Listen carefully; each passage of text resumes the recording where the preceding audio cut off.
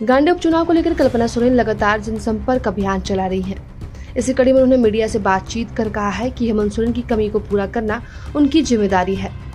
बता दें कि गांडे से विधानसभा उपचुनाव की झामू प्रत्याशी कल्पना सोरेन ने कहा कि इकतीस जनवरी के बाद स्थिति काफ़ी बदल गई। उसके बाद हमारी पार्टी के कार्यकर्ता और नेता तनाव में थे कि आगे क्या होगा। कार्यकर्ताओं ने मुझसे आगे आने का आग्रह किया। अपने नेता के प्रति उनका प्यार देखकर मैंने सोचा कि जब तक हेमंत जी वापस नहीं आ जाते तब तक मैं इस कमी को पूरा करूँगी। और यह मेरी नैतिक ज़िम्मेदारी है।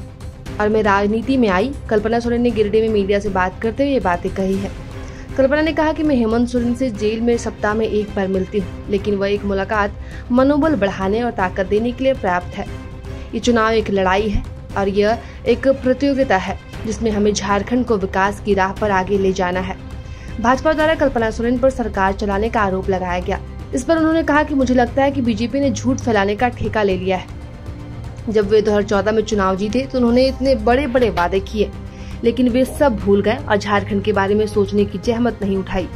श्रीमती सोरेन ने कहा कि मैं कहूँगी कि जिस तरह से सभी संवैधानिक संस्थाएँ आज चल रही हैं, वे केवल उन राज्यों में ही क्यों काम करती है जो भाजपा शासित नहीं है। अगर वे बीजेपी शासित राज्यों में कोई कार्रवाई करते हैं तो उसे जल्द ही रोक दिया जाता है। उन्होंने कहा कि हेमंत सोरेन के मामले में कोई सबूत नहीं है, कोई तथ्य नहीं है, ये पूरी तरह से साजिश का हिस्सा है। प्रभात खबर डॉट कॉम, विश्वास वही, रफ्तार नहीं